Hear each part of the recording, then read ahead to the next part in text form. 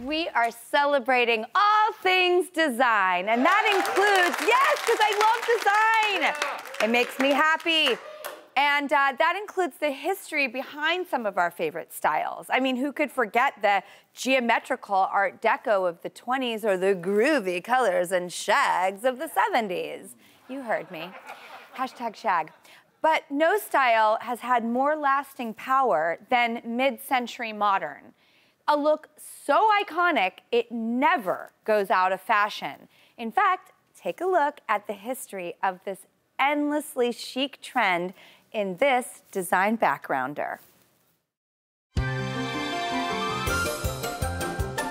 Mid-century modern design began in, you guessed it, the middle of the 20th century.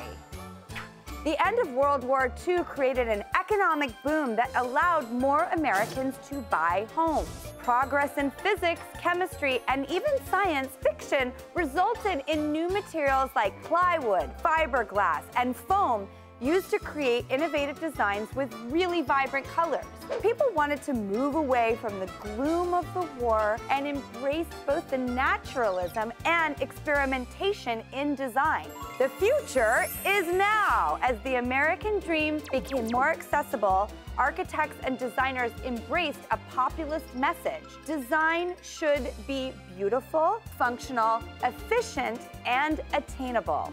Branching across generations, mid-century modern design has been seen in our homes as well as on our television screens. From the Brady Bunch to the Jetsons and to the Incredibles and Mad Men, we have an enduring image of how our favorite characters lived in this style. The mid-century modern aesthetic is characterized by clean lines, simplicity, and bright colors.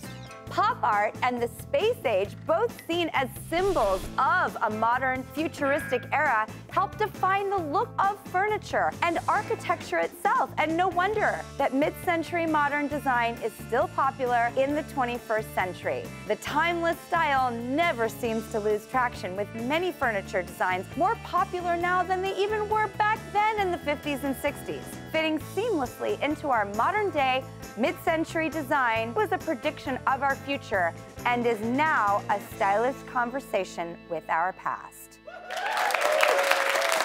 I love that. It's such an amazing and rich history for something so beautiful and so timeless.